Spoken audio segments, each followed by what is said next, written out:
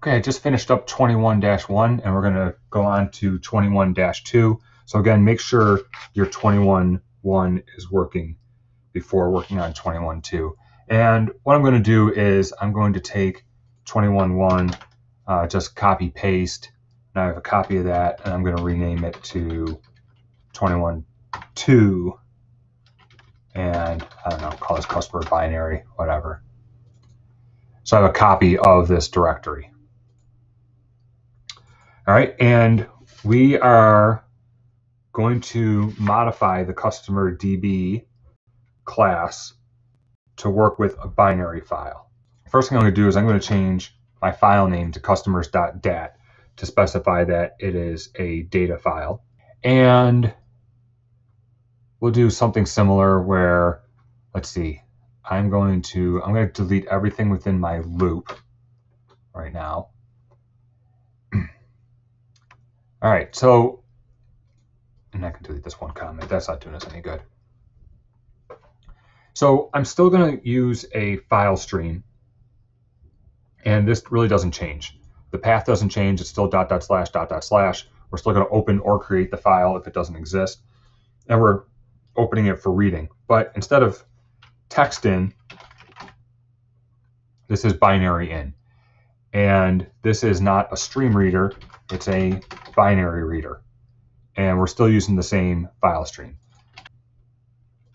Now we're just going to make sure that these say binary in.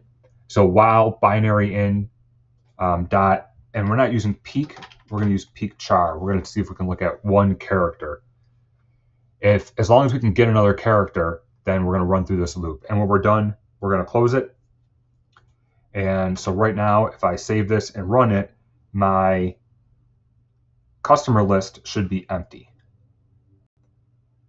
So let's do that. Great customer list is empty. If it's empty, it's working correctly. If not, um, go back and review what I just did there. Okay, so now save customers. Um, same idea. We need this file stream that, again, uses the same path. It's going to create the file, so it's going to clobber over what's there right now, and it's going to write to the file.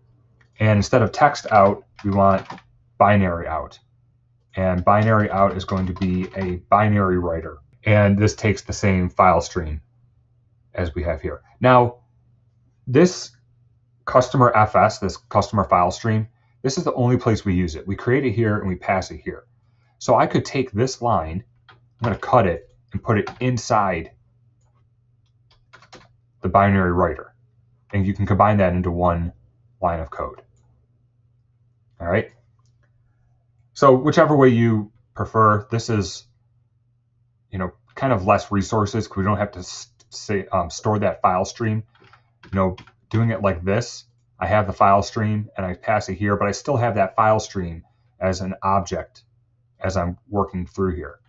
Whereas if I take the file stream, everything from new file stream, and I put it into, I send it as the argument to the binary writer, now it's created, sent to the binary writer, and by the time we get to this line, that's gone.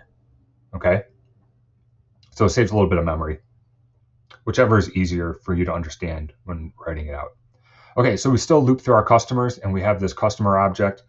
Um, but instead of text out, we're going to do binary out. And I'm going to do that on all these um, lines. And because it's a binary writer, we don't need to separate the fields with anything. That's handled for us um, from the binary writer. So we're going to write the customer's first name, the last name, and again, because it's binary, we don't have to worry about new lines. We just write the data as we get it. And then we're going to close it. So I'm going to save that. I'm going to run it one more time.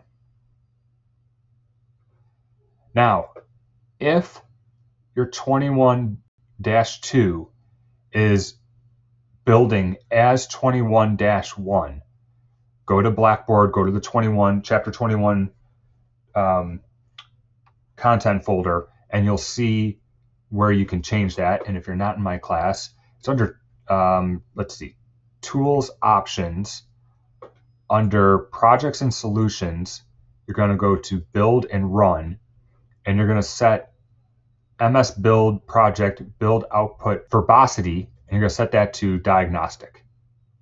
Okay, and that'll get 21 2 to run the correct way. Okay, so I'm going to run this again. Oh, I guess I already have it running. There it is. I'm going to add myself.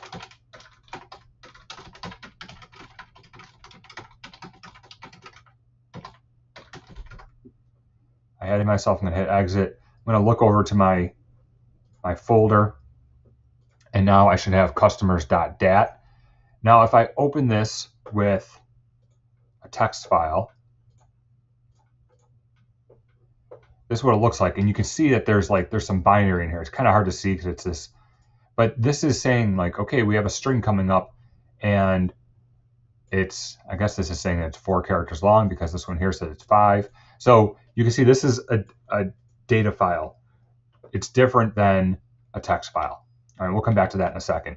So that's great, but now when I run this, I wonder if we're stuck in a loop somewhere. Yes, we are. Okay, I was stuck in a loop because this do while peek char peek, remember, looks at the next character. Well, the next character always exists because it never moves it along. So we can't run this right now. Um, what I'm going to do is I'm going to say dim customer as new customer. I'm going to use the empty constructor this time.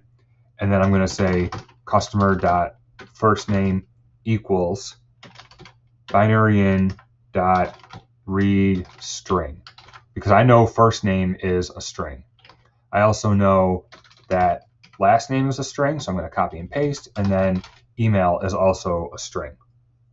Now, if you were saving anything else, like um, if you're working with products and you're working and you're saving prices, you could read decimals.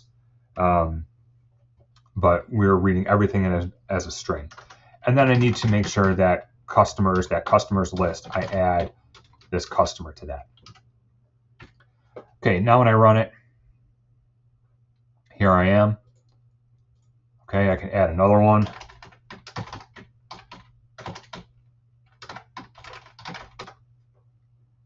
Exit. Now let's look back at this customer.dat. You see that it's all on one line. This is a, a binary file. Okay. So, and you can see here um, just the different indicators saying that what's coming up and such. So this is the difference of your binary file or a text file being used as a database. But that's it. That is writing data back as binary data. Um, just, I guess the one thing I would note is that right now we're reading everything as strings. If you were, you know, if you're saving the, the person age, you would, you know, use like read int. So there's different read methods on your binary reader. But now you can take that and zip it up and submit 21 2.